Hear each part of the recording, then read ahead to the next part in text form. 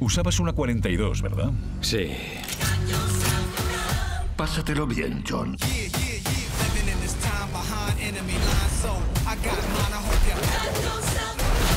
Si gana, la altamesa cumplirá su palabra. Tendrá su libertad. Amén.